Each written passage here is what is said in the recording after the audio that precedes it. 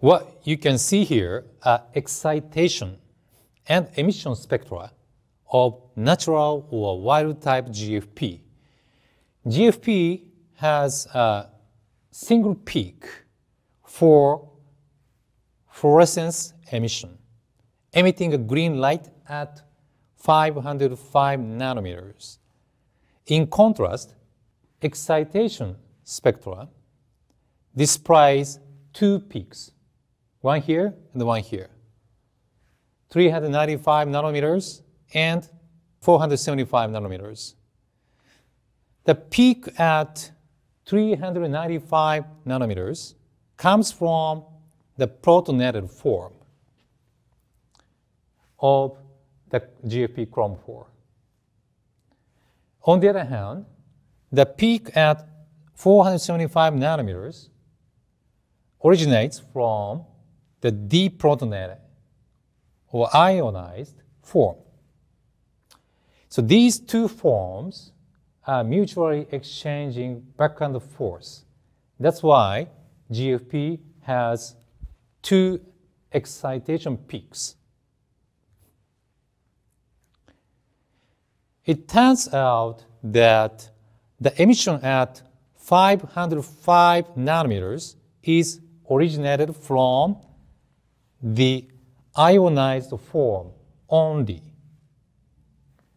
As I mentioned, these two forms are in equilibrium. The uh, protonated form, right here, is excited at 395 nanometers, and ionized form at 475 nanometers. The excited version of the protonated form uh, needs to be deprotonated to emit the fluorescence at 505 nanometers. The shifting the uh, equilibrium toward the uh, ionized form should be able to increase the fluorescence of GFP.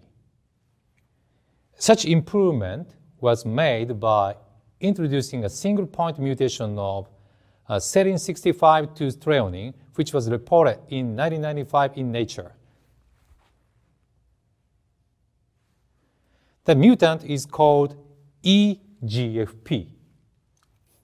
In EGFP, the mutation of serine 65 to threonine increases the population of ionized form of uh, the 4.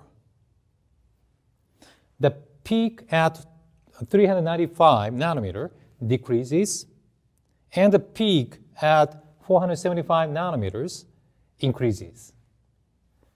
So this mutation dramatically improved the spectral characteristics of GFP, resulting in increased fluorescence and photostability.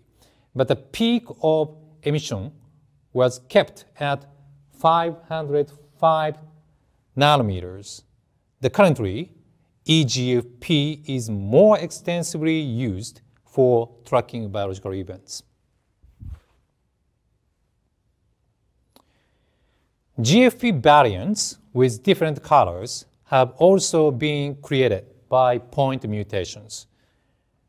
Blue one, cyan one, and yellow one in addition to GFP. BFP, CFP, and YFP. How can you change the color? This is the chromophore of GFP, as I already mentioned.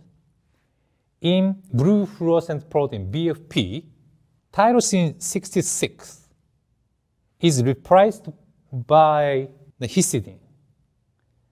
In cyan fluorescent protein, CFP, tyrosine 66 is replaced with W. What is the one letter code of uh, W? Yes, it's tryptophan, W ring.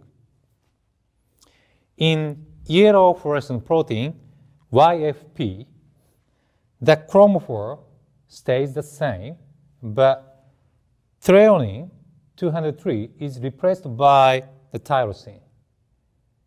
the stacking interaction between these two tyrosines that changes the emission wavelengths.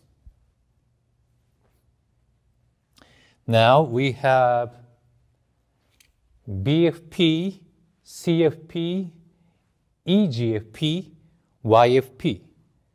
What is missing is a lead one. Jellyfish did not have a lead fluorescent protein. How can we obtain lead fluorescent proteins? Leaf corals had one. It's called DsRed. Why is it red? This is the chromophore of GFP, as I already mentioned. What happened in DsRed is that this part of the molecule has been oxidized. Oxidation generates a double bond here, expanding the conjugation. As I mentioned, the longer the conjugation is, the longer the excitation and emission wavelengths are. The lead fluorescent protein, DsRed, has spectral properties that are ideal for dual color experiments with green fluorescent protein. In the next video clip, I will show you how you can use two fluorescent proteins with different colors.